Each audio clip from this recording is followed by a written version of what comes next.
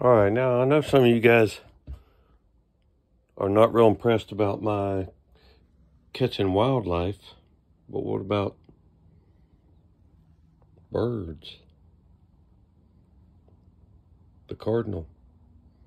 This one's a female. Last one I caught was a male. And I said, I don't always eat everything I catch. So I'm going to let this girl go. If she'll let go of my fingers. I'm to let her go. Are you to go? Whee! Nope, there it goes.